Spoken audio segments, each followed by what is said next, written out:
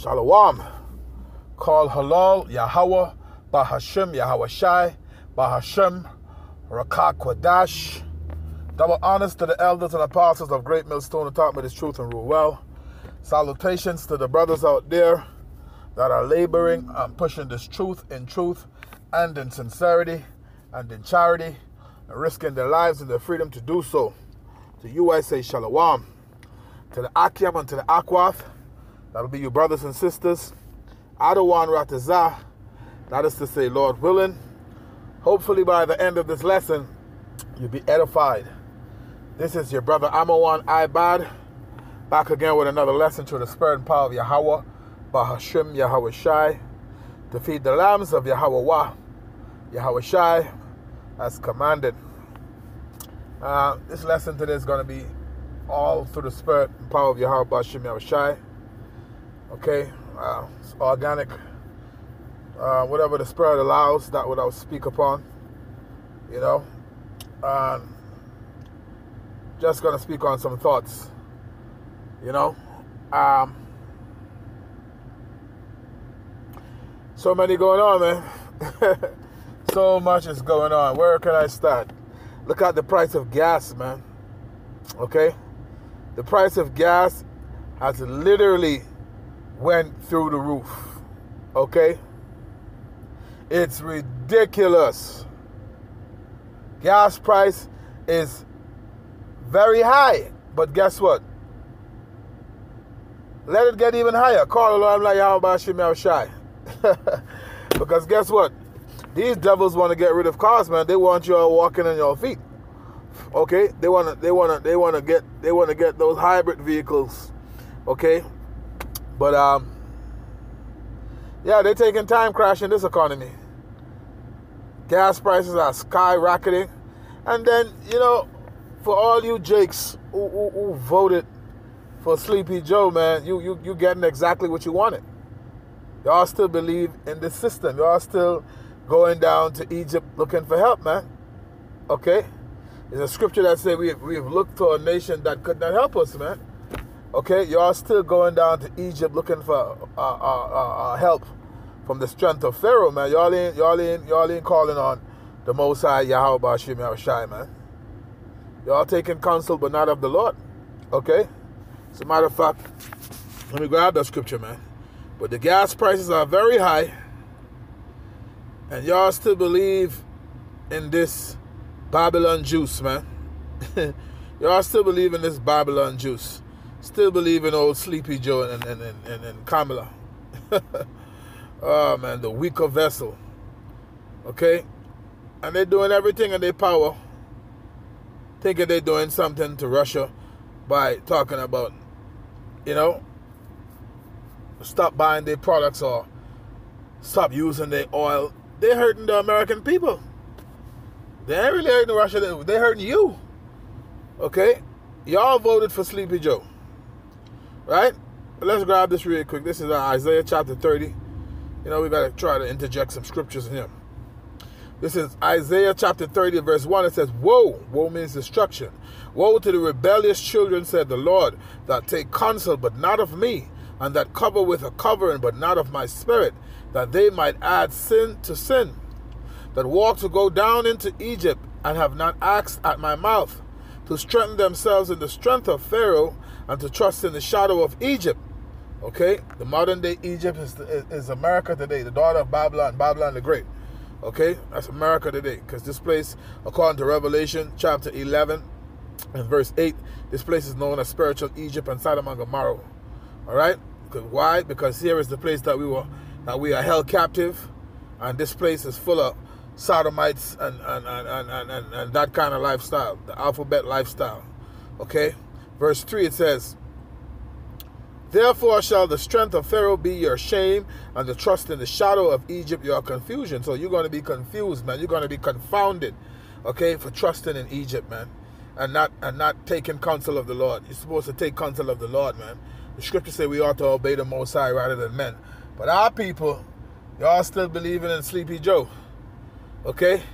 Gas prices through the roof. Okay, I can imagine, and and, and, and this. Remember the war in Ukraine going on right now. the harder that get, the high the higher price gas price is gonna keep just keep going up, man. Right now we we are approaching seven dollars, uh, seven dollars in California, right? It's about it's about it's about six and some change or seven in California if I'm not mistaken. Okay, so you can't say we're not there. By the time it's next month, who knows where we're gonna be? Right? Who knows where we're gonna be, man? Right? So, and in the next month or two from now, because of that same war, okay, who knows where we're going to be then? Now, we know uh, uh, uh, a hot World War III can't, it's not going to begin until they uh, make that, uh, that charagma, the MO to the TB, uh, mandatory. Once that's made mandatory, you know, you should know what I'm speaking about. Revelation chapter 13 and verse 16. Okay, when that once that made once that made mandatory, the men of the Lord are gonna rejoice, man, because we know what it means. Okay, we know what it means. Then things gonna begin to speed up. Okay, the ushering in of, of, of the kingdom, man. Things things are gonna uh, begin to speed up, man. Second Ezra, the 15th chapter. Okay, Second Ezra, the 16th chapter. All of those things gonna start coming into play. Jacob's trouble. Okay, uh, Jeremiah chapter 30 and verse 7. Okay? Them things going to start coming into play once the charagma is made mandatory, man. Okay? So as time go on, as time push on and time progress on, things are gonna become more tighter. You're gonna you're gonna you're gonna get put out of your comfort zone. You're getting put out of your comfort zone right now. What what what what what what what what, what sleepy Joe I'm talking about right now? Oh, you don't even gotta wear your mask no more. That's another thing.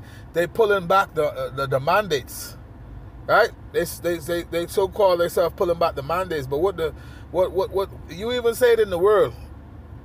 A calm before the storm, right? But what what the scripture say? Okay, let's go to it. All right, let's go to um. Let's go to um what's that? First Thessalonians. Let's go to First Thessalonians, the fifth chapter and the third verse.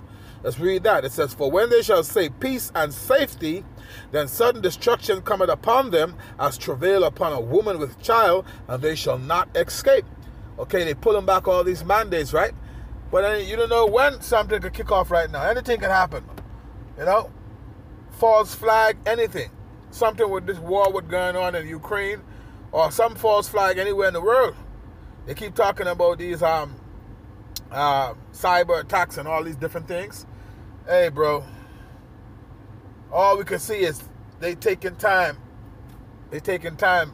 Uh, um, um, tearing shit up, man. Tearing the place down. Because why? They want to bring it. They want to. They want to bring in that that that that that that that new system, man. Okay. They want to go into that that that digital currency, man and get rid of the fiat currency, get rid of the paper dollar. You know? Something, something, something gonna happen where you ain't gonna be able to use cash no more in the future. That's they want to get rid of cash. You know? You, just like they, they've been having run on the banks and people can't get their money out the banks in certain several different countries. You know, I see uh, a guy had an article there. It was been like uh, bank runs in three different countries in one month. Bank runs, people run into the bank to take their money out the bank. Okay? So clearly, clearly, we in the end of days, man. It just it just gotta play out. And going back to this gas situation again, the gas is so high. The gas price is so damn high. And hey, what this guy is telling you, Sleepy Joe, you must uh uh uh say the people too comfortable uh, working at home now. They need to start going back to work. They need to start driving back to work to, into the downtowns of your different respective cities. You need to start driving back to work. Now who you think will want to drive back to work with all with the gas price at high the way it's so high right now? You know what i'm saying? Well we know the lord is going to take people out of their, their out of their comfortability anyway who's this? Who's Sleepy Joe to tell you you need to go back to work? If you're comfortable from working at home, bro, the price of gas right now is ridiculous.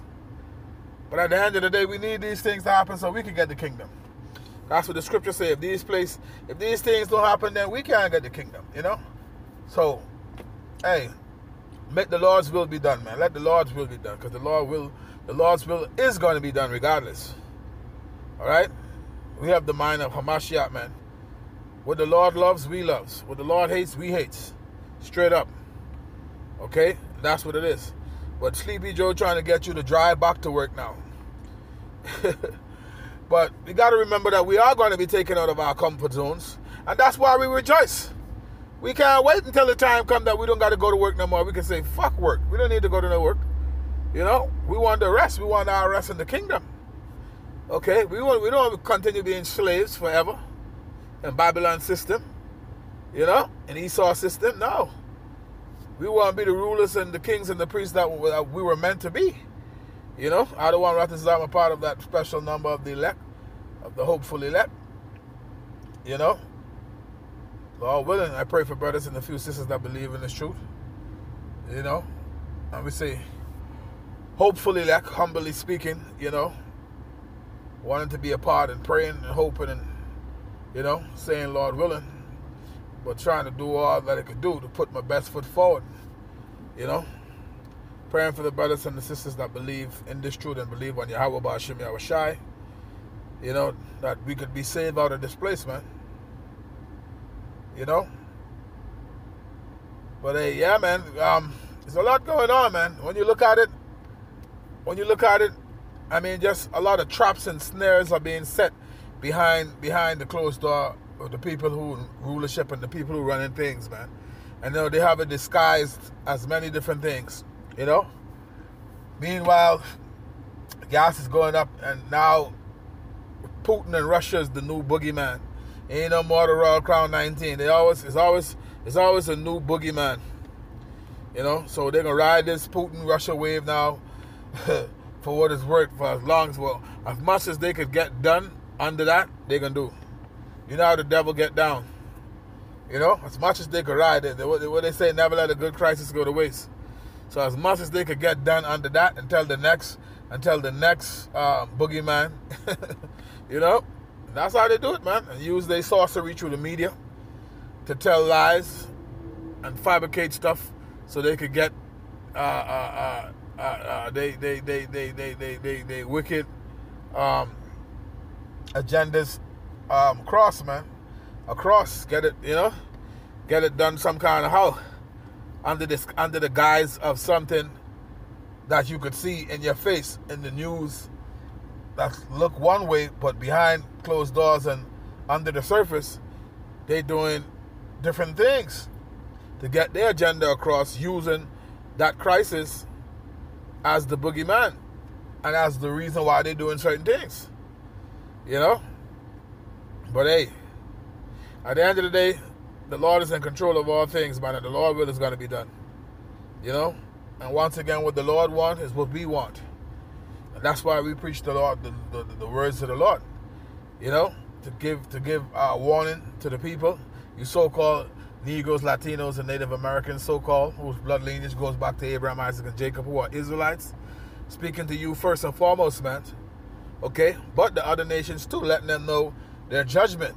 You know, for coming up against the children of Israel, the apple of the Lord's eye. Scripture says, "He that touches the apple, uh, the apples of the Lord's eye, right? He that touches you touches the apple of his eye. You know? You're gonna have to pay for that, man. Okay? These different nations, you know, they led us into captivity. They're gonna have to be led into captivity, man. And that's that's it, plain and simple. You know, the scripture says a righteous thing with the most high to recompense uh, uh, tribulation to them that trouble thee, man. Okay? Roughly paraphrase. So at the end of the day, he that lead into captivity, captivity shall go into captivity, man. So we ain't we ain't we ain't tripping over these things that we see happening because we know what the scriptures say. If if certain things don't happen, then we the kingdom don't come. So these things must be, man. All right, these things must be so we could get the kingdom of heaven. All right, let me read this real quick. This is uh Second Ezra chapter four and verse twenty-eight. It says, But as concerning the things whereof thou hast asked me, I will tell thee, for, for the evil is sown, but destruction thereof is not yet come. Okay, this is Ezra, the prophet, talking to the angel. It says, If therefore that which is sown be not turned upside down. And if the place where the evil is sown pass not away, then cannot it come that is sown with good. Okay? So we need, okay? We need the destruction, man. We need that to happen, man. We need that to come for the kingdom to come. Thus said the Bible, thus said the Lord, man. This is the words of the Lord. All right? The kingdom of heaven ain't gonna come until these things be done, man. All right? So when you read down, you jump down to verse 37, it tells you until it says, Second Ezra chapter 30, chapter 4 and verse 37, it says, By measure had he measured the times, and by number had he numbered the times, and he doth not move nor stir them until the said measure be fulfilled. And that's the reason why the kingdom ain't gonna come before the destruction come. The destruction gotta come first. You see? And that's why we rejoice, because we know say when we see certain things happening, we know say, hey, the time is pro- approaching even more. That's why the scripture tell you, and and and and, and uh, what's that? Uh, Luke, the twenty first chapter, where it says, "Look up before your redemption draw at night." When you see the signs coming to pass, man. Even Second Ezra, the ninth verse, it tells you that now. You know, Second Ezra nine and verse one, it says, "He." He answered me then and said, Measure thou the time diligently within itself in itself, and when thou seest part of the signs pass, which I have told thee before, then shalt thou understand that it is the very same time wherein the highest will begin to visit the world which he made. Okay, therefore when thou shalt be when there shall be seen earthquakes and uproars of the people in the world, we've been seeing that, then shalt thou shalt well understand that the Most High spake of those things from the days that were before thee, even from the very even from the beginning. Okay? For like as all that is made in the world had a beginning and an end, the end is manifest. We live in an end times. Verse 6. Even so, the times also of the highest of plain beginnings in wonder and powerful works, and endings and effects and signs. Okay, so when you begin to see the signs, okay, let's get that in Luke. Okay, Luke chapter 21. All right, you can jump in here at about uh, 25. And there shall be signs in the sun and in the moon and in the stars upon and upon the earth distress of nation nations with perplexity. Look what's going on in uh, Ukraine, between Ukraine and Russia, and all of these other countries wondering if what's going to happen, thinking about what's going to happen. Okay? And upon the earth distress of nations with perplexity, the sea and waves roaring, men's heart failing from failing them for fear and for looking after those things which are coming on the earth, for the powers of heaven shall be shaken. And then shall they see the Son of Man coming in a cloud with power and great glory. Okay? When when these things begin to come to pass, then look up and lift up your heads, for your redemption draweth nigh. And that's what we're saying, man. That's why we're rejoicing, because we see now our redemption is drawing nigh. We see that by looking at the prophecies, by measuring the time where we are, and seeing these things happening and coming to pass. So every time something happens, we're rejoicing, man. We're not upset at all. We just vexed because we are. That's that's because we, you know, we we we we suffering because we're not we we not in this we in this world, but we're not of this world. Because we know this world is polluted, man. The Micah, Micah 2 and 10 tell you that arise ye and depart, meaning in your mind. Arise ye and depart, for this is not your rest. This is this ain't our rest. Our rest is going to be in the kingdom. All right? Arise ye and depart, for this is not your rest, for it is polluted, it says, and it will destroy you, even with a sword of destruction. So we know this place is polluted, man. Men and men together, woman and woman together. You know what I'm saying? This is an abomination. Okay? And they keep pushing this agenda and they pushing it to you and your kids on it too, the TV and all this different stuff. You've seen all these ads and commercial grown ass men kissing and shit. And they want they just shoving it down the people them throat. Okay? So remember the, the, the Lord says Sodom and, Gomorrah, Sodom and Gomorrah was made as an example, man. All right. So hey, that's it, man. When we see these things coming to pass, we rejoicing, man, because we know our redemption draw draw at nigh. All right. So with all the things going on with the world, keep praying, fast fasting if, when you can, you know, and keep tending on the Lord, man, and trying to be pleasing in His sight. Okay. So with that, I'm off to end it there. Hopefully you were edified. On to the next one. Shalom.